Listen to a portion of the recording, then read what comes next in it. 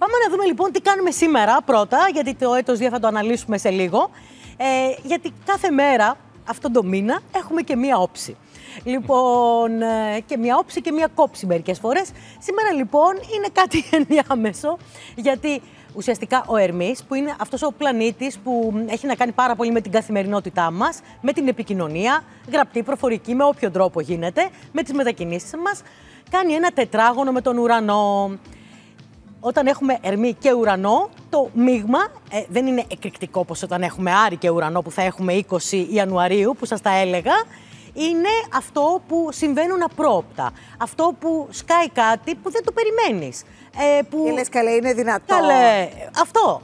Είναι δυνατόν. Και λέει ο άλλος, ναι, είναι. Αυτό είναι το απίθανο σενάριο. Ε, μπορεί να συμβεί με τον Ερμή όταν τετραγωνίζει τον ουρανό.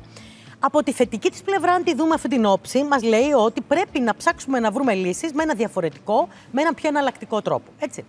Αλλά το, ε, το κύριο, η κύρια αίσθηση της μέρας είναι αυτό το απίθανο, το απρόβλεπτο, αυτό που δεν το περιμένουμε, μια νευρικότητα και μια ένταση.